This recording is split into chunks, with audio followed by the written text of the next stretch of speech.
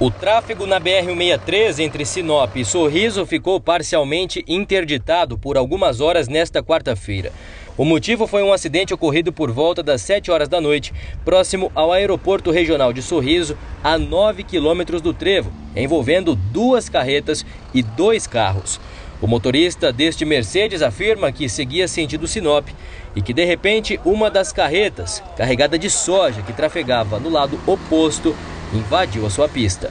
Eu tava indo para Sinop, aí vinha um rapaz na minha frente. Quando isso a carreta veio de lá para cá, abrindo, podando o outro e não tinha jeito. E ele freou e a carreta dele começou a dar L. E ela veio em cima abraçando a minha carreta, de frente. Aí a única coisa que eu fiz foi tirar para direita.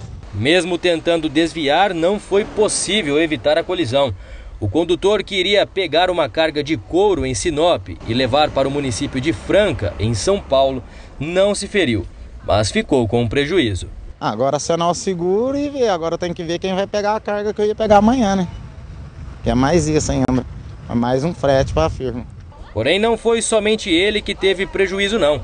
A carreta carregada de grãos também, pois com a batida a tampa traseira da carroceria abriu e grande parte da carga de soja foi para o chão.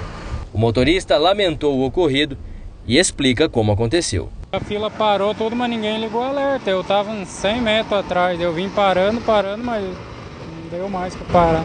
Mas a velocidade também não era alta, no máximo 70 nós tá. Só que foi um imprevisto, né? Pessoal viu a chuva forte e reduziu demais e o caminhão é muito pesado. Não, não tem condições de parar que nem os carros baixos. Quanto aos automóveis envolvidos, o Renault Clio seguia sentido Sinop e o Fiat Strada sentido Sorriso.